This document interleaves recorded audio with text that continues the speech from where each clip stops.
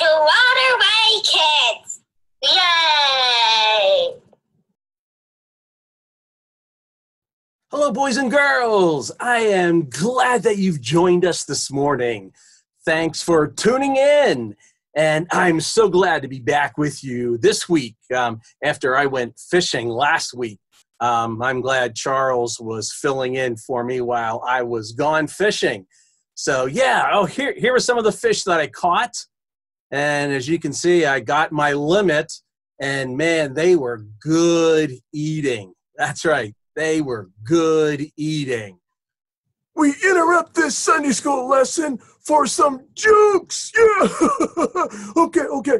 What building has the most stories?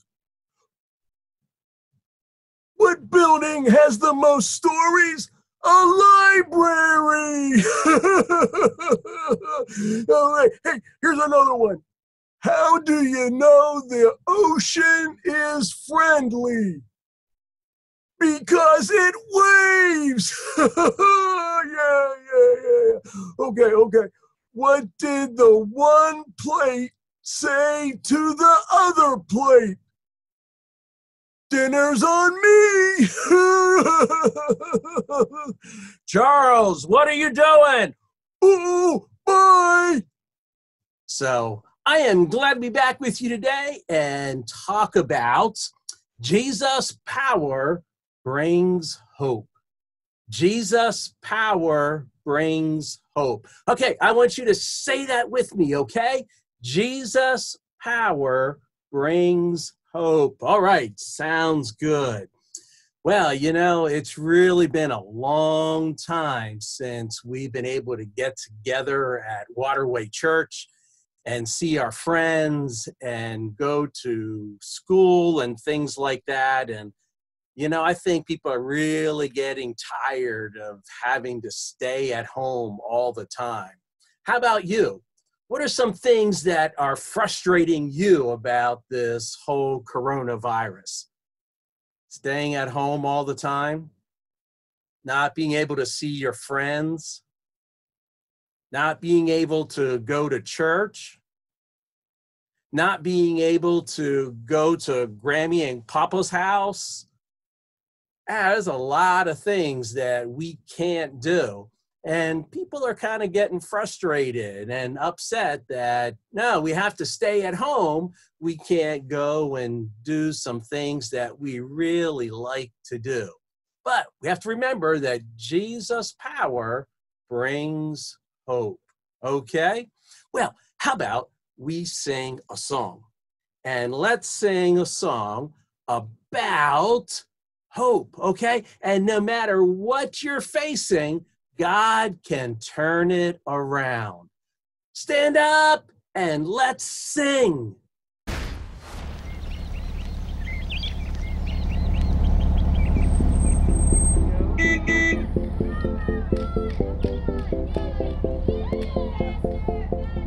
Woke up this morning feeling kinda blue. A little sad, but I know just what to do. Oh, oh, oh. oh. Whoa, oh, oh. I have learned that I can go to Jesus. He lifts me up whenever I need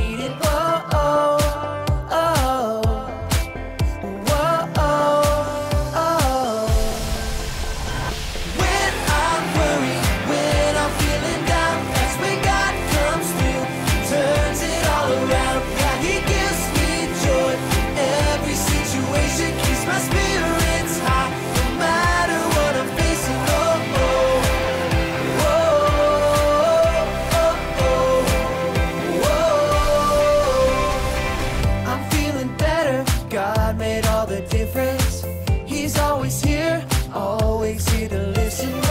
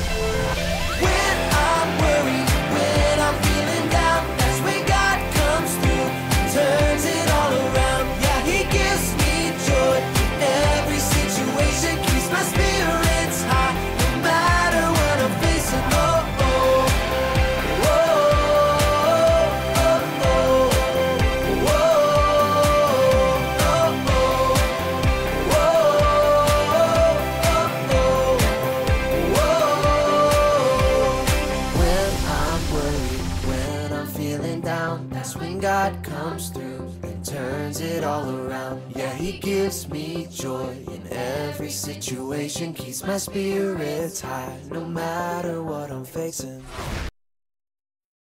That's right. Jesus can give us hope no matter what we are facing.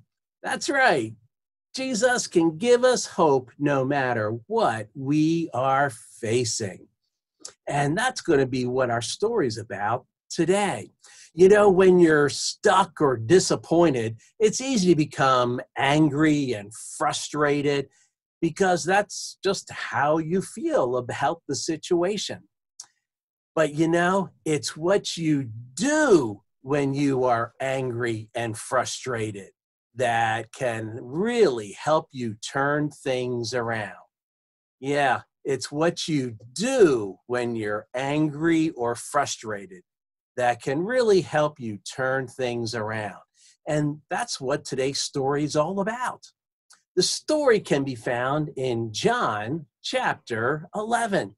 And this true story about some very good friends of Jesus, Mary, Martha, and Lazarus. Well, Lazarus became sick, and Mary and Martha thought, oh my, Lazarus might die. We better find out where Jesus is and ask him to come. Well, that's just what they did. They sent word to Jesus and said, Lazarus is really sick. You better come. Well, Mary and Martha and Lazarus were very good friends of Jesus. In fact, they believed that Jesus was the Messiah. Mary and Martha and Lazarus believed all that Jesus taught them. Well, when Jesus got the word that Lazarus was sick, he didn't run to their house and and meet with Mary and Martha and Lazarus. Nope. Jesus didn't do that. Instead, Jesus stayed a little while longer where he was before he went to the home of Mary and Martha. Man, I wonder what Mary and Martha were thinking. I wonder if they were thinking, Jesus, where are you? Where are you? I wonder if they were looking down the road and saying, Is Jesus coming yet? Is Jesus coming yet? Man, you know, I'm sure they were really getting angry and frustrated that Jesus didn't show up. But when Jesus showed up, Lazarus was already dead.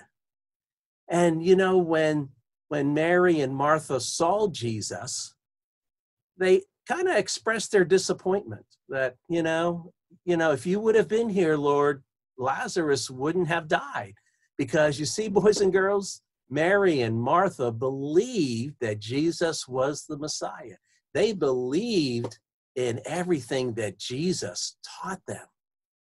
Well, I know they were really upset and they were crying because Lazarus was dead. Wow. But you know, Jesus had another plan.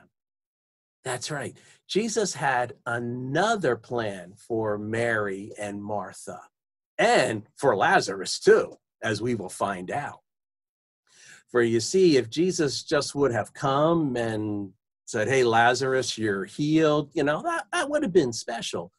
But to have Lazarus die and then bring him back to life, wow, the Bible says that many people believed in Jesus that he was the Messiah after he did that. You see, Jesus had a bigger plan.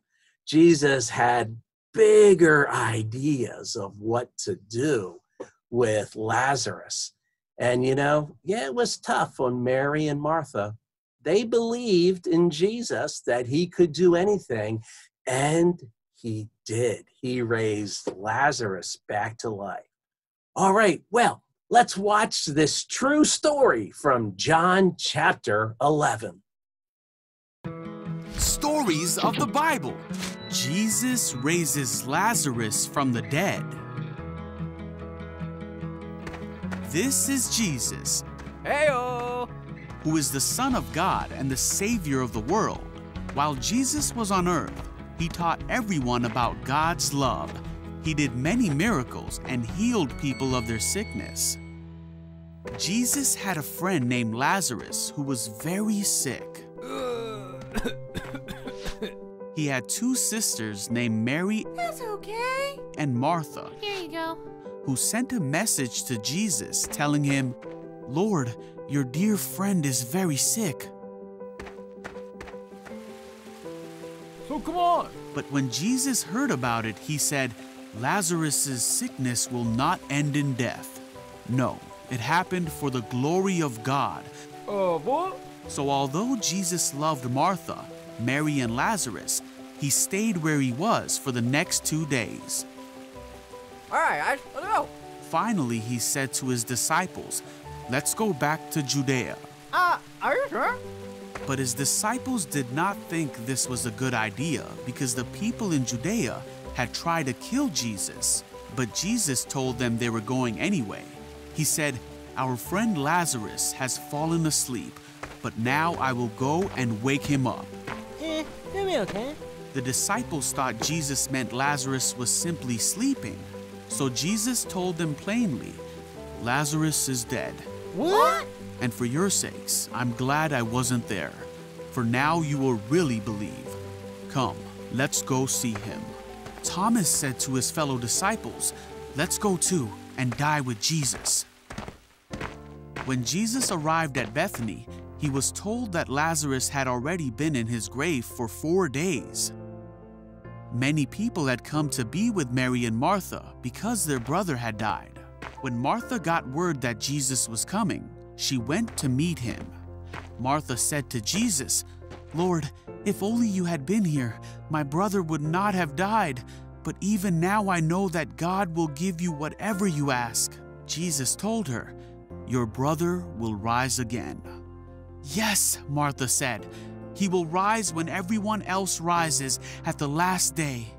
Jesus told her, I am the resurrection and the life. Anyone who believes in me will live even after dying. Do you believe this, Martha? Yes, Lord, she told him. I have always believed you are the Messiah, the Son of God. Then she returned to Mary. She told Mary, The teacher is here and wants to see you. So Mary immediately went to him. When the people who were at the house consoling Mary saw her leave so hastily, they assumed she was going to Lazarus's grave to weep. Oh, let's go too. So they followed her there. When Mary arrived and saw Jesus, she said, Lord, if only you had been here, my brother would not have died. When Jesus saw her weeping and saw the other people wailing with her, a deep anger welled up within him. Where have you put him? He asked them. They told him, Lord, come and see. Then Jesus wept. The people who were standing nearby said, See how much he loved him?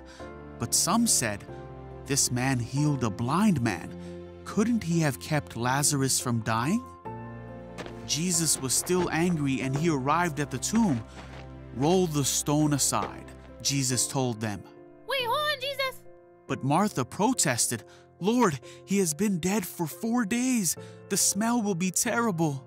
Jesus said, Didn't I tell you that you would see God's glory if you believe? Go ahead. So they rolled the stone aside. Then Jesus said, Father, thank you for hearing me. You always hear me, but I said it out loud for the sake of all these people standing here, so they will believe you sent me. Then Jesus shouted, Lazarus, come out! And Lazarus came out, his hands, feet, and head wrapped in cloth. Hello? Jesus told them, Unwrap him and let him go. Wahoo! Many of the Jews who were there believed in Jesus, for he had raised Lazarus from the dead.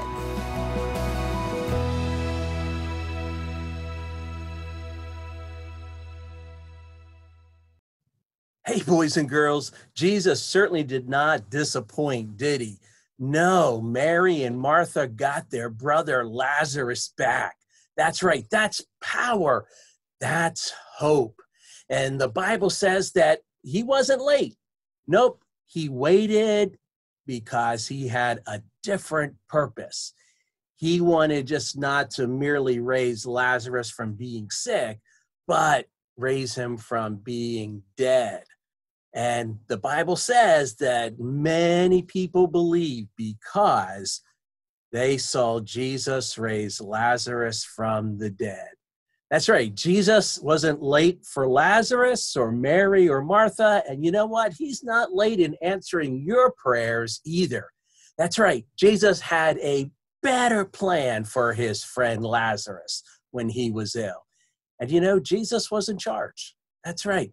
And he's still in charge. And he has a plan for us too.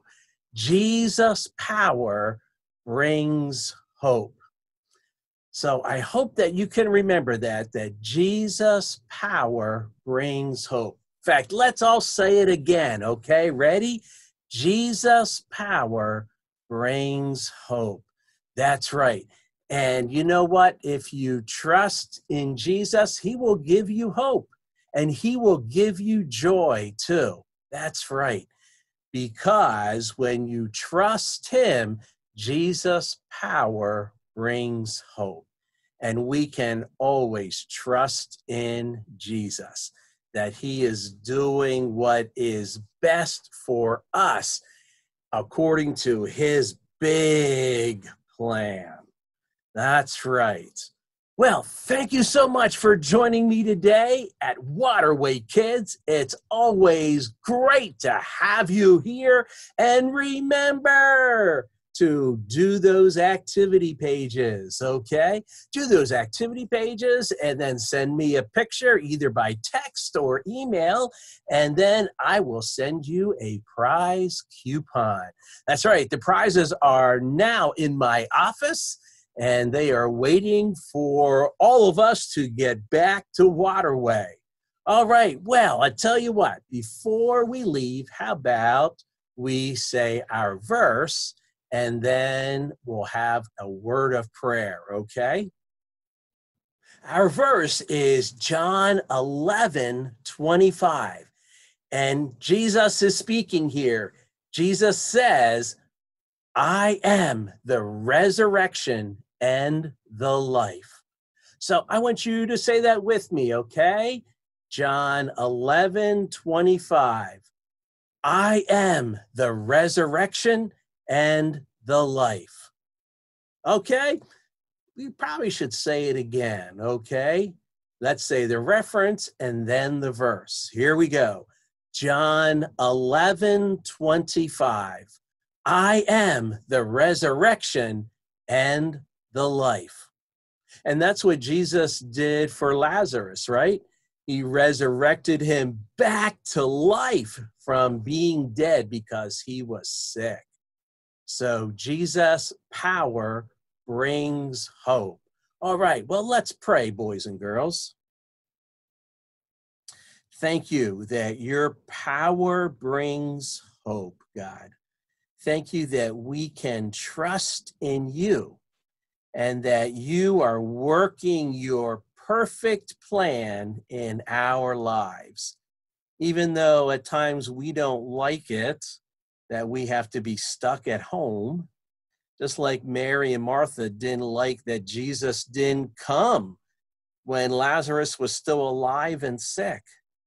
But we know, God, that you did not disappoint, that you raised Lazarus from your from the dead and God, we know that even though we're stuck at home and we don't like it, God, that you are not going to disappoint us too.